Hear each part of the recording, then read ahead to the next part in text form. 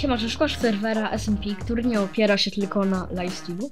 Jeżeli tak, to świetnie trafiłeś. Przedstawiam Ci Victoria SMP. Jeżeli nie wiecie, co to lifesteal, to jeżeli zabijecie osobę, to dostajecie jedno serce. Ona je traci. Oprócz lifesteala będą pojazdy, takie jak helikoptery,